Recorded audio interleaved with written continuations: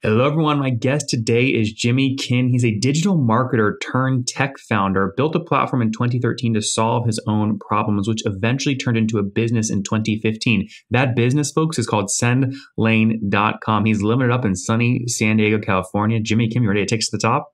Yeah, absolutely. Thanks for having me back. Thanks for coming back on. It's been, um, gosh, 18 or so months. What For those that missed the first episode, quickly, what's Sendlane do? Uh, we're email marketing for e-commerce. Okay, that's different than last time. So you you are now hyper specialized in e-commerce. Tell me about that decision to go sort of niche. Correct, correct. Oh, in uh, 2019, we kind of looked back at all our data. We surveyed our customers, looked at all the data around like you know LTV, ARPU, and just kind of really figuring out what our customers are really like and what looked like the good longevity for the future. And uh, we made a big decision in 2019 to rebuild a platform, which we'll call V3 now, that's now live. Uh, last in 2019, it went live and hyper focused and hyper specialized on e-commerce on really deep data and like how we can take someone to the next level beyond name and email. What did you feel was broken where you felt like you had to make that choice? You know you did an analysis and you said we have to specialize in a niche. Let's go e-commerce. But but what was broken that made you do the analysis in the first place? Sure. i think i think the top level is very easy to find a customers. Let's just start at the customer level what we were serving before like a lot more of the content creator space. It was just a more difficult market to find and we found that the the size of these customers tended to be much smaller so you would have to get more velocity under your belt in order to do it and they churned a lot faster because a lot of them were just starting businesses. They were a little bit more uh, immature as a business as well too a lot of times and you know there was mature businesses as well too but a lot more on the lower end side of things as well too. So that's kind of how it all started for us kind of starting to figure out that our customer side of things weren't uh, weren't exactly a fit for what we wanted to do for our future. I see. We're recording this down here on September 15th. Give us an update revenue wise. What did you do in August in total revenue? Uh, we crossed a little bit over uh, $420,000 roughly. And that's pure SaaS? Uh, pure SaaS, correct.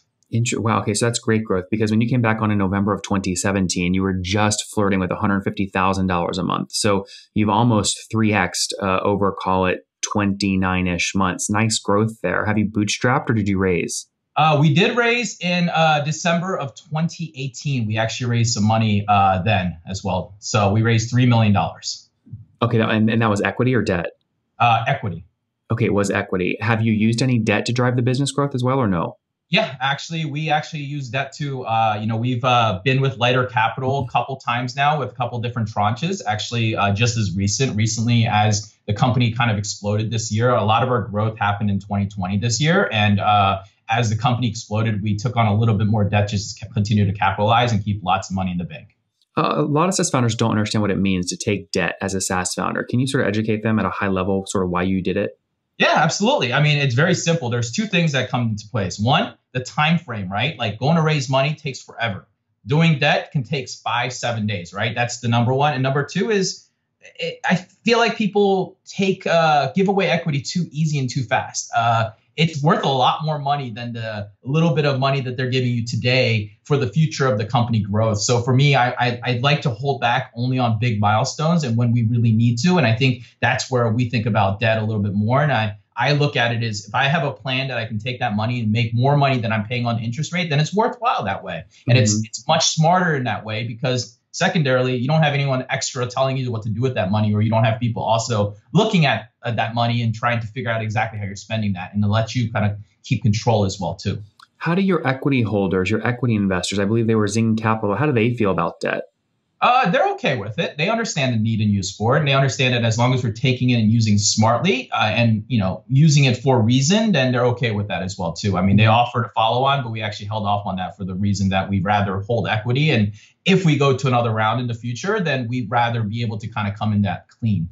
Yeah. So, I mean, if you go do another round in the future, how do you, as a CEO and with your leadership team, decide do we go and do a debt round or do go we do go go raise equity?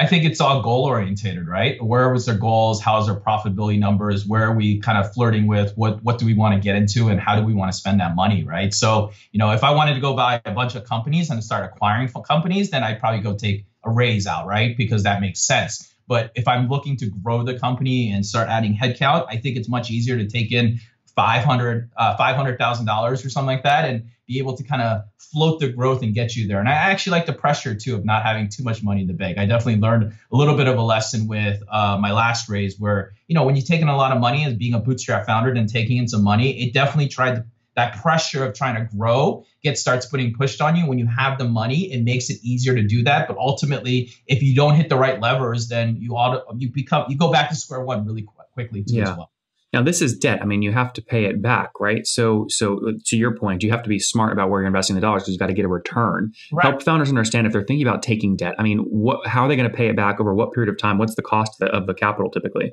Yeah, absolutely. Um, you know, for us uh, with uh, with Lighter, then we worked with them. It's a three year term, right? It's revenue based, so it's based on your revenue, and it's tiered buckets based around your revenue. And depending on how much you're making, they're taking a percentage up to about nine percent or eight and a half percent of that revenue per month, and then coming down from that, obviously, as you hit milestones. But uh, essentially, you just got to plan better and make sure that you're bringing the cash flow in on top of it, and knowing that you have to kind of look at like how much does that money go as far as paying back the debt and when the money needs to be coming back in. So you got to be looking at the long scope of the picture of your customers. So if you spend 500 grand here, you got to make sure that you've recovered your 500 grand and start making money with it down the line as well too. So you know we got you got have to think long term, but you also have to have a plan for it.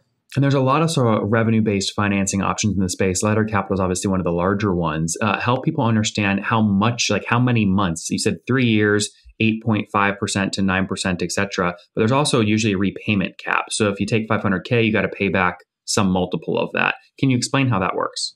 Yeah, absolutely. It's obviously, it's kind of, I mean, it's it's a uh, I think for us it's like a 1.3 per 1.3x roughly. So essentially over a three year term, we're going to pay 1.3 times more than we take took in as money. Uh, and it's essentially just spread out over that revenue. So the good thing about revenue-based financing that I like is if you do have a r- rough month because maybe you're heavy on the front end of the month, uh, front end of the year or the back end of the year with your revenue, allows you to kind of float that money a bit. Obviously, there's a catch-up period if it becomes a problem, but they're basing it off of your current revenues, which makes it obviously if you're growing, you should be able to achieve and grow past that really quickly as well too. Got it. So just to make that really clear, if you raise 500k from one of these RBF firms today, and you have a 1.3x repayment uh, cap, basically that means you're going to be paying like $650,000 over Correct. whatever the term is, three years, based off eight to nine percent of your monthly recurring revenue. Correct. Okay, Jimmy, let's hard hard turn here. Let's go to product. Sendlane, yeah. what, what have you released over the past three years?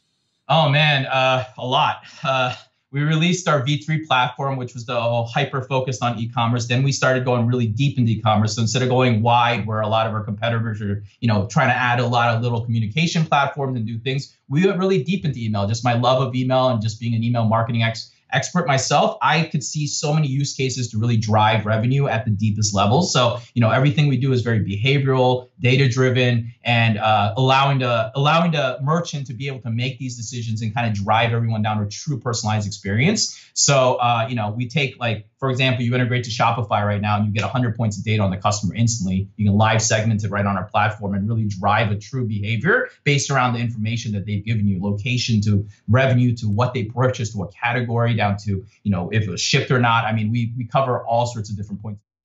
Interesting. And how many customers are using the tool now? Uh, we have about 1,650 customers roughly. 1650. Okay, interesting. So that's very different from 2017. You said you had about 6,500 customers in. So it sounds right. like you've let a bunch churn, but the ones that are paying today pay more. Yes, absolutely. So they're paying about 255 bucks roughly uh, a customer now. Uh, we were probably, at, I think, on the last uh, one was what 25 or 30 dollars, probably 24, 25 somewhere around there. Yeah. Yeah. So yeah, so you've 10x. You've 10x the average ACV, the average ACV. Yeah. Interesting. And okay, so we understand sort of the capital stack. We understand you've driven customers. You you last one the show in 2017, but when did you launch the company?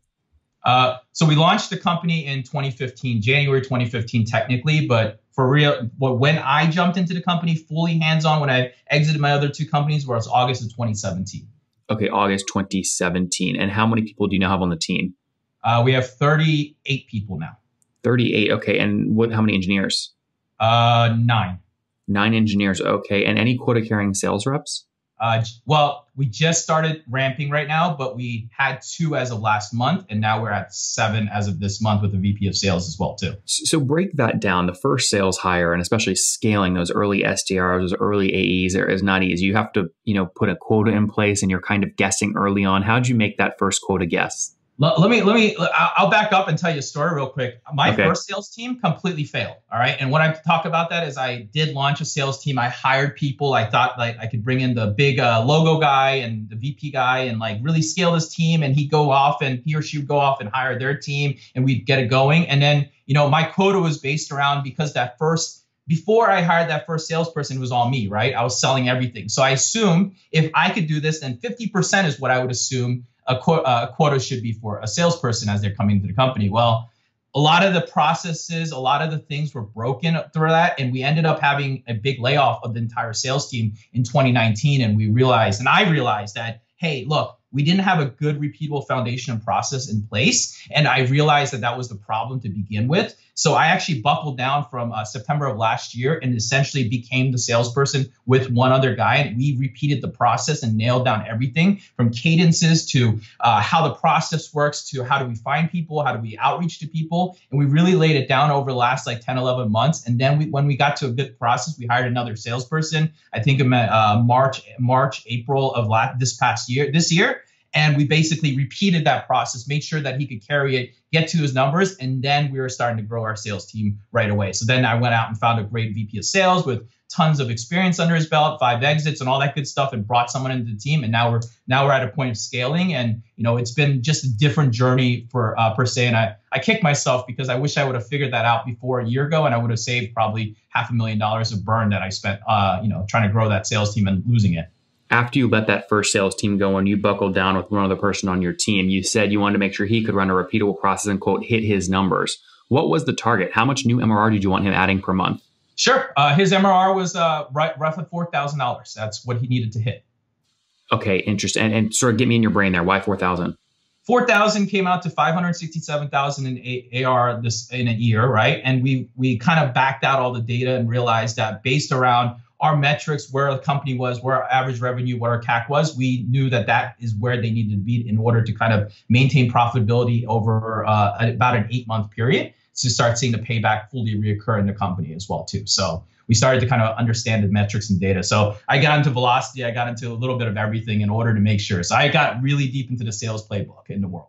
So 4K quota per month for one sales rep. If they do that back to back for 12 months, they've essentially added 50,000 in new monthly recurring revenue to the business or 600,000 in new ARR. Do you follow a traditional commission structure? You pay out about 30%?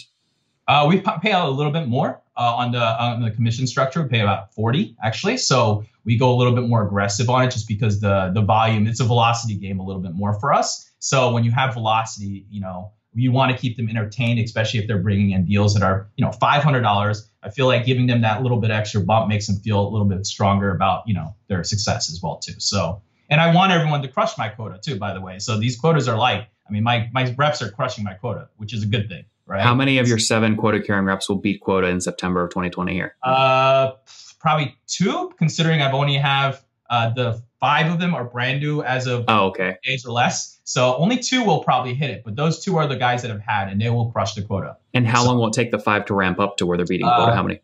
What we saw about three, four months. Okay, not bad. And when you say 40% commission, if I am your one of your new sales reps and I close 4K in new MRR, you are saying that I'll get $1,800, about 40% that month. How long will I get that 40% commission on those new accounts I brought in? It's just, well, it depends. So it's monthly or annual, right? So if they get monthly deals, then we pay out full there. And then annual, they get a percentage of the chunk. They get a little bit less. They get 5% chunk of the annual payment. So if they come in monthly, they get 40% of the first month's payment. And if they bring them annually, they get 5% of the entire annual chunk. Oh, I see. So they really, you sort of, every sales rep starts from clean every month. They're not sort of building a commission stream over time. Correct. I mean, they've got the sales cycles and everything else going, but it's a very black and white commission stream right now. Yeah, I mean, the nice thing about that is that it's simple. I imagine you must get a little pushback though from sales reps going, I'd love to get commissions longer than just the first month. Yeah, well, the, the point is to push them to an annual deal and get 5%. Correct. Of the annual payment. Yeah, interesting.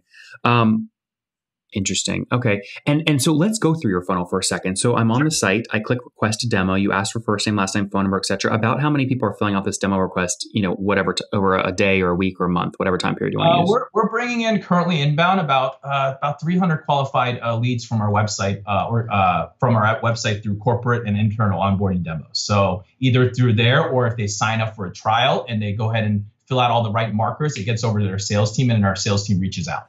And over what period of time? Uh, 24 hours. I mean, oh, daily. So daily 300. Yeah. Oh no, no, no, not daily. Monthly, 300 roughly. Got it. Got it. Okay, per month. Got it. And so, how many? You have nine. You now have seven sales sort of quota carrying reps. How many demos are they doing per month? Uh, our goal is to get to one demo per month for each of them. Again, because a lot of them are new right now, they haven't gotten there obviously right now, so we haven't gotten there. But the goal is not per month, one demo per day per business day. So 20 demos a month is their goal.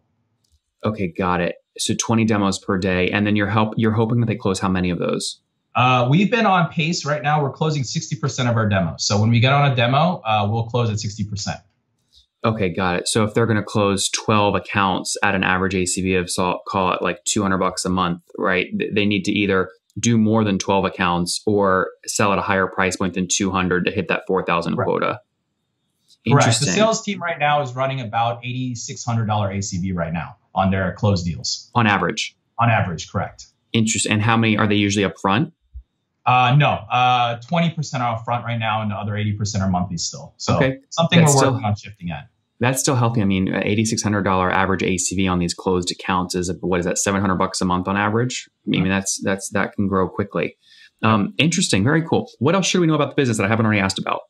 Uh, nothing really. I think uh, some of the things that we've really just been focusing on in the company. I think last year's kind of pain exposed a lot of things, and we we've got our churn control. We've got you know what's churn? Our, uh, churn. So two sectors. I like to be, uh, you know, overall. Look, I'll do two two ways. Uh, overall churn, entire company running about four percent uh, on the revenue churn, about eight percent on the logo side on overall company. But if we hone down on the revenue, where the sales team's operating, which is what we call our pro or enterprise level, uh, we're churning about 17% annually on that, and we're doing net positive retention. So we're doing about 105% net positive retention on there. So our revenue churn is not there; it's just all logo churn on that side. Interesting. So on that cohort that you do, you do have touch on there as a demo. You have you clearly have expansion revenue to get above 100% net revenue retention. What are you typically upselling?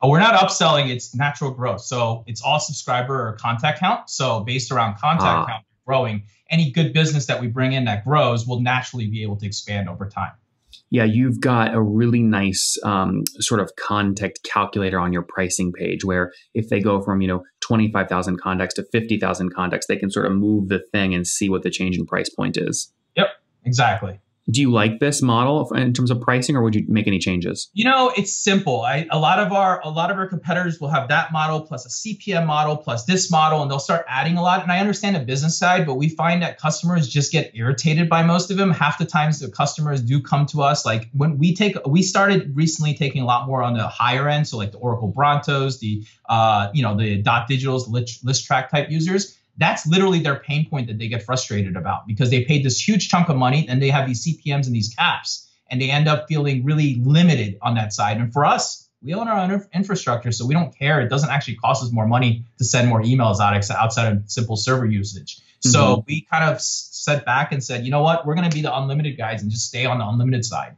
And we'll obviously don't want to be abusive, but want to also allow customers not to feel that pain point. So We've kept the pricing simple. I think we're going to continue to keep it simple, but it's something that we're still continuing talking about. Uh, last couple questions here. Back in August of 2019, according to Ahrefs, you ran a pretty aggressive paid campaign. You were ranking for you know 41 to 50 sort of keywords. You then abruptly sort of turned that off. What happened with that test? Uh, it was just a matter of August. Did you say August 2019? Yeah, August of 2019. And Ahrefs is sometimes wrong, by the way, so that you maybe weren't running any ads, but it's showing that you ran a bunch of ads in August of 2019, so about a year ago.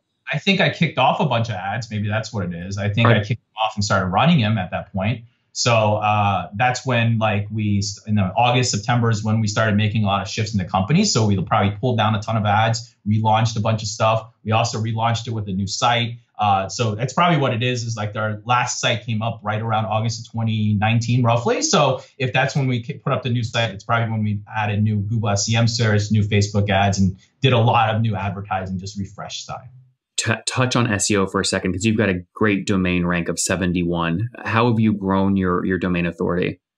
Yeah, uh, complete content marketing focus, uh, really high quality content uh, really focusing on just getting uh, great content in the world and then kind of have our little content engine where we're, you know, uh, advertising out with all our content, getting more people into it, and kind of putting them through our flow and funnel as well too. So one of our biggest strategies that we really changed was instead of going out and trying to advertise the product or advertise the demo, we started advertising content, really high value, good content, actionable, and basically we were able to drive our cost per acquisition down by almost 3x. So we were able to reduce that by really focusing on the content side and letting the content speak for itself.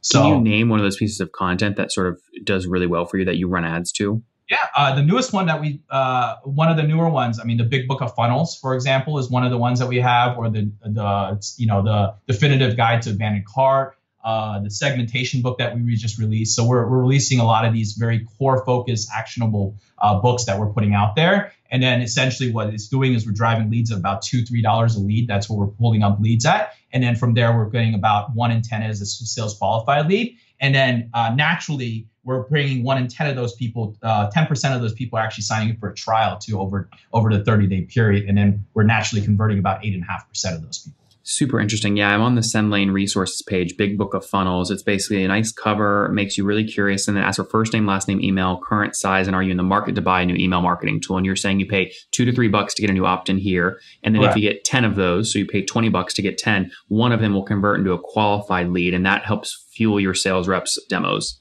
Correct. Fascinating. Jimmy, you're doing all that. You're, you're running all kinds of tests, man. This is great. well, you know, I've always been the data guy, so I've been just like drilling into data and trying to figure out how to make better decisions for the company always with it. So where what where would you put your sort of overall weighted CAC right now to get a new $250 a month account? You're going to pay what? Yeah, so you know the numbers don't make sense because our team has been lean and we don't spend a lot of money. So like last month or two months ago was the last time I really been, our CAC was 254 on a 250. So they don't okay. make sense right now. So uh, at this point, because we didn't have a sales team, we didn't have a marketing team. As of July, we had one person in marketing and me. So now we have three people. We're obviously out there hiring a VP of uh, marketing now. So we're getting to a point where we're going to start growing that, and I know our CAC is going to go up a lot. So yeah. yeah. What are you comfortable though in terms of payback period? You'll go up to what? 12 months? About eight months. Eight, eight months. Is, eight months is my goal. Is my mindset of goal like max? I want to go to eight month payback. All right, Jimmy. Let's wrap up here with the famous five. Number one, favorite business book. Ooh, that's that's changed a lot lately. Um, Crossing the Chasm has been my face, favorite book lately because that's what I just did in 2019 into now. Yeah, it's a good one. So you sort of considered going from sort of two million to five million. That was really your crossing the chasm moment. Well, it was switching complete verticals, launching a new platform, saying goodbye to old customers, and also saying hello to new customers. So yep. uh, a little bit more even than that. So and number finding two, new product market fit. Number two, Jimmy, is there a founder that you're really following or studying right now? Uh, I can't say that I'm following anybody like very, very closely right now. Um, I would say that I would look at my mentor as my like my coach mentor. I work with this guy named Brett Fox. Uh, I, I, don't know if you've ever heard of him, but uh, he's a big Quora contributor. But he's been coaching me and helping me all year, so I would look at him as someone I'm looking up to currently right now. Number three, besides Euron, what's your favorite online tool for building the company? Uh, right now, it's OmniGraffle. Right now, I don't know. Omni what? OmniGraffle. Graffle. I haven't heard of them. Yeah, it's a mind map tool. Basically, allows you to build out your mind maps around flows and everything that you need to do. Number four, Jimmy, how many hours of sleep are you getting every night? Six. Okay. And situation, we know you have two kids married? Yep, married, two kids. And how old are you? I am 39 now. 39. Last question. What's something you wish you knew when you were 20? Uh, focus focus on one thing and stop trying to do 900 other things. I think that's been my biggest learning lesson right now is just if you focus on one thing, not I'm not talking about just focusing on business, but even taking the business and focusing on one vertical or one niche and really being focused on it would have been a lifesaver difference in the businesses that I've grown.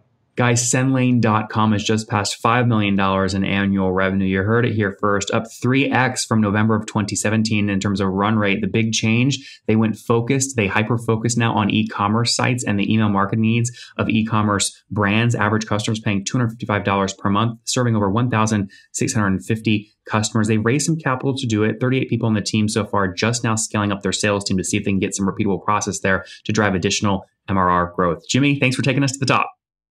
Thank you for having me.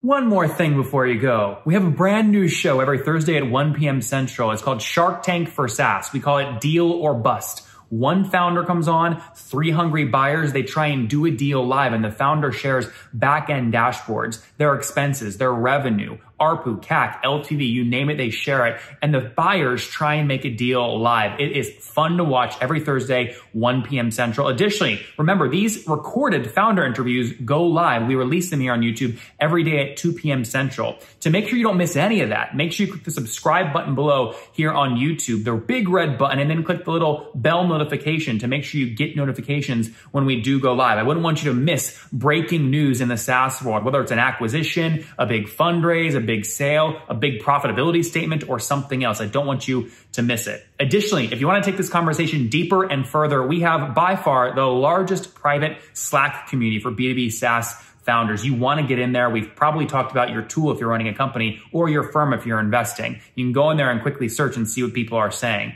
Sign up for that at nathanlatka.com forward slash Slack. In the meantime, I'm hanging out with you here on YouTube. I'll be in the comments for the next 30 minutes. Feel free to let me know what you thought about this episode. And if you enjoyed it, click the thumbs up. We get a lot of haters that are mad at how aggressive I am on these shows, but I do it so that we can all learn. We have to counter those people. We got to push them away. Click the thumbs up below to counter them and know that I appreciate your guys' support. All right. I'll be in the comments. See ya.